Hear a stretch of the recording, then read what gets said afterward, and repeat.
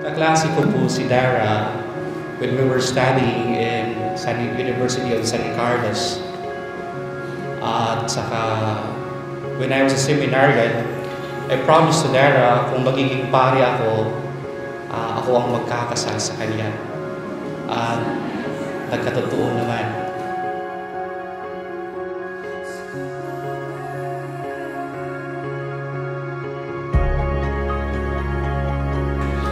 Brothers and sisters, especially to Dara and uh, Wilfred Angelo.